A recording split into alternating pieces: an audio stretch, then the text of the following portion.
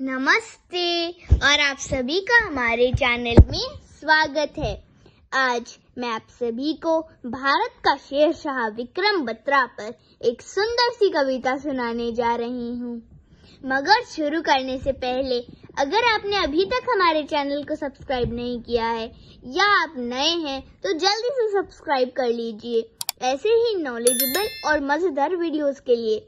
चलिए शुरू करते हैं। आज मैं सुनाती हूँ बहादुर जवानों की कहानी।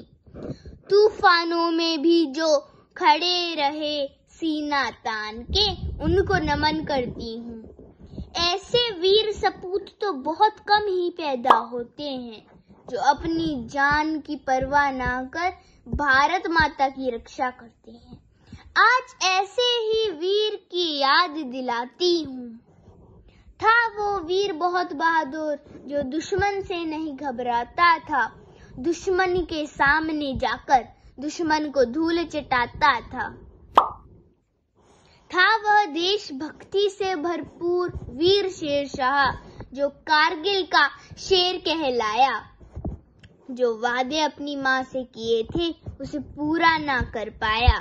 पर भारत माता की रक्षा कर लिपट कर तिरंगे में लौट कर घर आया। ऐसे बहादुर सपूत की गाथा सारा देश गाता है। देखकर इनका हुनर दुश्मन भी घबराता है। मेरी भी ख्वाहिश है कि एक दिन मैं भी देश के काम आऊँ और अपना तिरंगा दुनिया में सबसे ऊँचा लहराऊं।